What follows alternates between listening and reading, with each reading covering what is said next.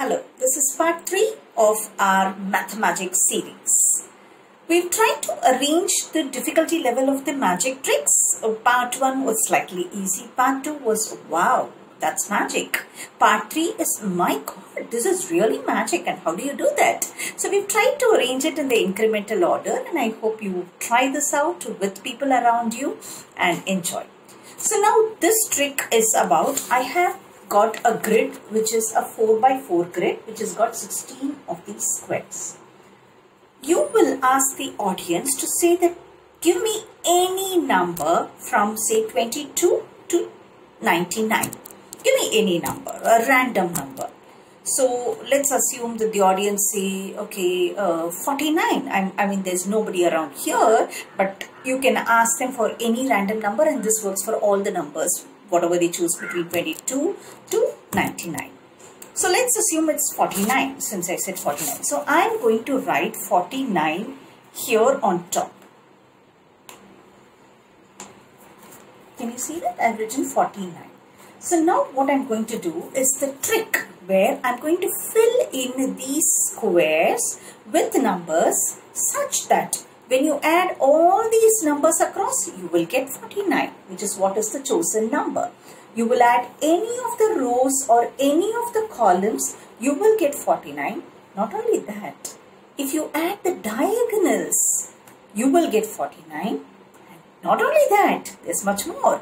Take up any of these squares here, you add them, you will get 49. Again, a further step ahead if you add up these two to the sum of these two, you will get the number that they have chosen, which is 49. So this works amazingly and you will do it right in front of them. There's no calculator, you're not going to do it. You just say, give me the number and instantaneously you will write it down. Are we ready? Okay, so now let me fill up these numbers with some random numbers and then show you whether they are actually adding up to 49 or not. Are we ready? Great. Okay, so let me start. Let me place the notebook down below or let me place it here so that you are also able to see it. So let me say I am filling them with random numbers. Okay, I'm placing it close here so that you can see this and maybe I'll turn it around a little bit to write it so that it becomes easier for me. Let me just fill it up. Remember, I'm going to fill up all the 16 squares. Can you see this? I filled it up uh, with a few of these numbers here and then I'm going to fill up the remaining ones also. Here I'm filling it up. And then I have something here which I will, can, is, is it uh, something that you can see? Yes.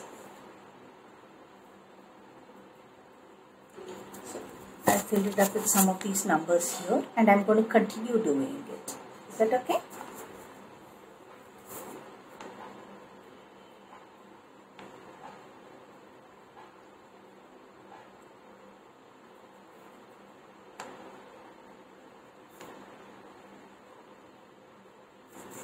Are you able to see?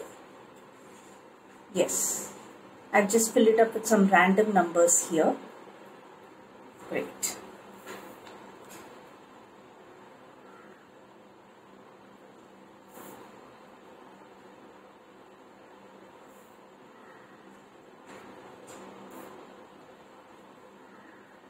Super. So you will fill it up with these numbers. Yes, when I say you, I'm going to give you the trick of how you can do it. So you will fill it up with these numbers. And now let's see whether what I said is right or wrong. Remember what's our magic number here? We said 49 is the magic number. So now we're going to see whether row wise when you add it up, whether it comes to 49. So you have the first one which is 29 plus 1 which is 30 30 plus 12 which is 42 plus 7 is 49. Voila! You got it. Oh, but maybe it's just one row. Let's not be overconfident. Let's look at the next one. So you have 11 plus an 8 is 19. 19 plus, let me take the last one here. 19 plus 2 will be 21. 21 plus 28, yes, it is 49. Yes, And if you add up these four numbers here in this square, in this square region, I'm talking about these four numbers here, it will again be 49. Can we check that out? So it is 29 plus 1 is 30. 30 plus 11 is 41 plus 8 is 49. That's amazing. Similarly, check up what about this 4 when I add up this 4 does it come to 49 I'm just kind of outlining it for you to see the four numbers here. 3 plus 31 3 plus 31 is 34 and then you have 34 plus 6 is 40 plus 9 is 49 so this 4 this 4 this 4 this 4 you add it it comes to 49 look at the diagonal. Add it up it comes to 49 I'm going to leave it to you to add it up across. And similarly, I told you one more thing. When I add up these two numbers, for example, 30 plus 5 is 35. And when I add up these two numbers, which is 12 and 2 is 14. So you have a 35 plus a 14 again gives you a 49. So you add up row wise, you add up column wise, you add up diagonals, you add up the squares, you will get 49 and similarly when you add up these and these or these and these you will get 49 this is an amazing trick. And everybody will say oh my god this is an expert in math who's doing this trick. Want to know the trick? Let's see the trick. But pause the video. Make sure that you find out that all the additions of whatever we mentioned is 49 go with the conviction and then say, oh wow, yes it is. Now what's the trick? And I need to play this with my audience. Let, it, let me understand this. The trick is extremely simple. You just have to remember that whatever be the number which is written there, you will always, always, certain things are fixed in those particular rows and columns and I'm going to tell you what it is you will make sure that you have the sum of 9 written in all four of these columns here in this way. So these are going to be fixed. So you'll have a 5 and a 4 which comes to 9, 1 and an 8 which comes to 9 and then you have a 3 and a 6 which is 9 again and a 7 and a 2 which is 9. So remember you have used up all the numbers from 1 to 8. So you'll have the next number which is 9. So it's not that we're going to use the consecutive numbers always but to a certain point. So once you've done that step 1 is writing these numbers. So step 1 is done. Step 2 this is a 3 step process. Step 2.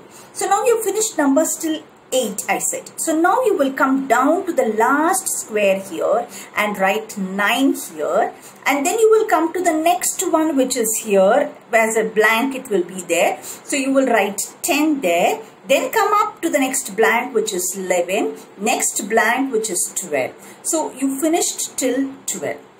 This done what you need to do is the step 3 is whatever is the number that the audience have given you have to subtract 20 it's always 20 immaterial of whether they've chosen 49 or 54 or 63 or 72 whatever be the number.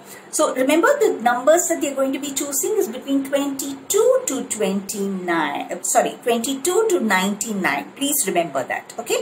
So now 49 minus 20 step 3 I said you have to subtract 20 so 49 minus 20 is nothing but 29 whatever that number is please write that number here and then go down below which is the next block here in this particular one which is empty is 30. The next one which is empty is 31 in the next row above and there is just one more blank which is empty here. That last blank will have one number less than 29 or whatever number you've written here one number less than that.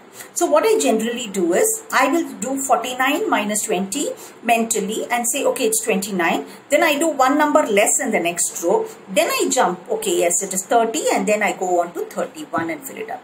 If you do this you will find that that particular row's addition of those numbers or the column addition will always give you that magic number that the audience have chosen. Floor your audience. they will be amazed. See, okay, yes, okay, I've done it once. Maybe you think it's a fluke, or maybe, you know, we had a kind of an understanding with that audience member. No, let's try it once again and keep doing that. And of course, when you're writing the numbers, make sure that you don't write 5 and 4 in that same order. Just write 4 here and then 7 there so that they don't understand that this is a pattern that you're following. Write out the random numbers, but make sure that these first step numbers are what we have indicated here. This is for your reference. Please have a look at this and try out the three-step process and mention in the comments what kind of a feedback you got from your audience. Great way to magic, great way to learn math and love the subject. Thank you so much and make sure that you subscribe to the channel because we're going to be having many more such episodes coming in soon. Thank you.